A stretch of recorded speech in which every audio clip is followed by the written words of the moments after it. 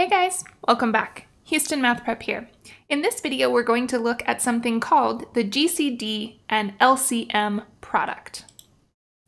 We have this useful theorem that shows us that for any two non-zero whole numbers, a and b, the GCD of a and b times the LCM of a and b should be equal to the product of a and b.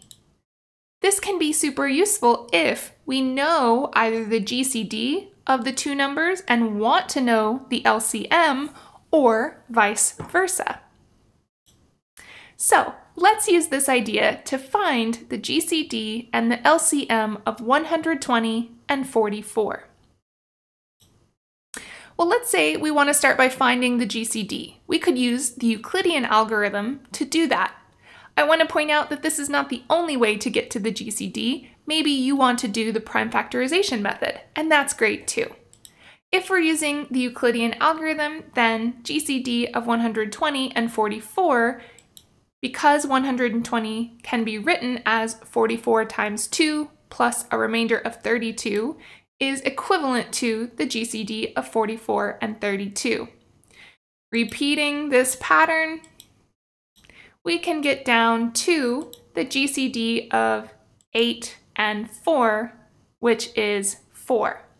So by Euclidean algorithm, we have that the GCD of 120 and 44 is equal to 4. Now, using the GCD and LCM product, we know that that GCD of 120 and 44 times the least common multiple, or LCM, of 120 and 44 should be equal to the product of 120 and 44. Well, we found the GCD to be 4, and certainly we can multiply 120 times 44 to get that 4 times our least common multiple is equal to 5,280.